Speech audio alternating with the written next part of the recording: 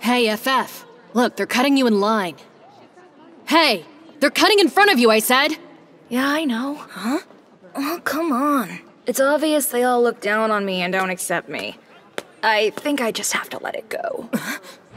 Wait your turn, asshole! That's what I would say. Uh, that feels like a bad idea. Huh? You can't succeed by force. If you want to be accepted, you have to change. Right? So, I thought I should just do the opposite of what I've been doing. Does coffee have a reverse?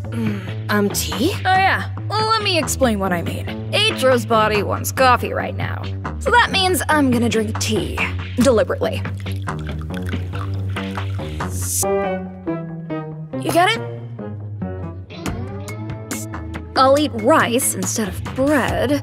Instead of my right hand, I'll hold the spoon in my left and eat. And that's how I'm gonna change myself by flipping everything. Hey, check this out, FF. These are the scars from when I took those bullets. They hurt like hell. I already told you. I just stuffed the holes with plankton, so full recovery is up to your own healing power. Got that?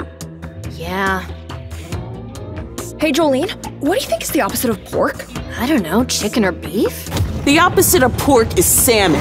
Pigs are lazy bastards, unlike salmon. They swim upstream like the total badasses they are. I like it, yeah!